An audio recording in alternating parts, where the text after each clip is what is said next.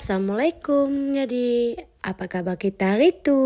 Nah, malam-malam kita tiba-tiba kepengen mau jajan. Jadi nggak pikir panjang kita langsung berangkat buat cari jajan yang dekat dari rumah. Nah, kebetulan ada mamang pentol yang mangkal nggak jauh dari rumah. Jadi kita langsung mampir dan beli pentol kuah. Karena di sini lagi musim hujan, jadi cocok buat cuaca yang lagi dingin-dingin, bil kita makan pentol kuah gimana? Betul nggak? Di sini si bocil malah nyomot sosis mamangnya.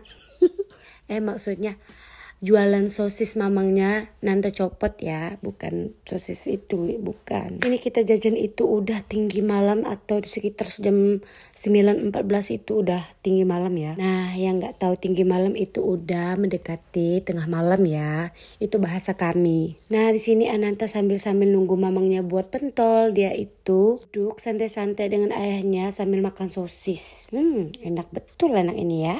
Sedangkan bundanya sambil uh, melihat dia takutnya nanti dia jatuh. Tapi alhamdulillah tidak ya. Nah, singkat cerita ini kita udah pulang di sini dapat kalian lihat bahwasanya di jalan itu udah nggak ada manusia, ada sih satu dua orang. Udah sepi karena ini udah malam ya. Jadi kita nekat malam-malam cari jajannya nggak apa-apa ya sekali-sekali itu pun nggak jauh dari rumah. Nah ini kita lagi menuju pulang ke rumah.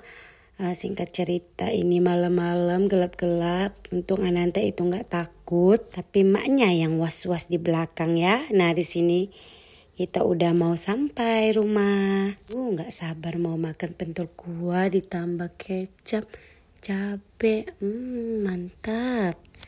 Nah oke okay, lanjut singkat cerita. Ini kita udah di dapur kita buka jajanan kita. Ini ada sempol ada Menu utama itu pentol kuah, kita beli empat karena di rumah ada empat orang. Nah, di sini kita juga beli apa namanya sosis yang dipanggang, uh, apa nama lagi ya, um, ampla dipanggang.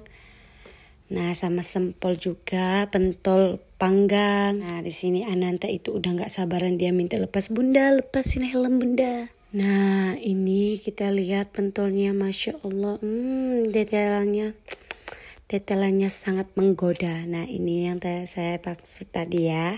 Persate-satean, sosis, bakso, sama ampla tadi kita minta bakar sekalian.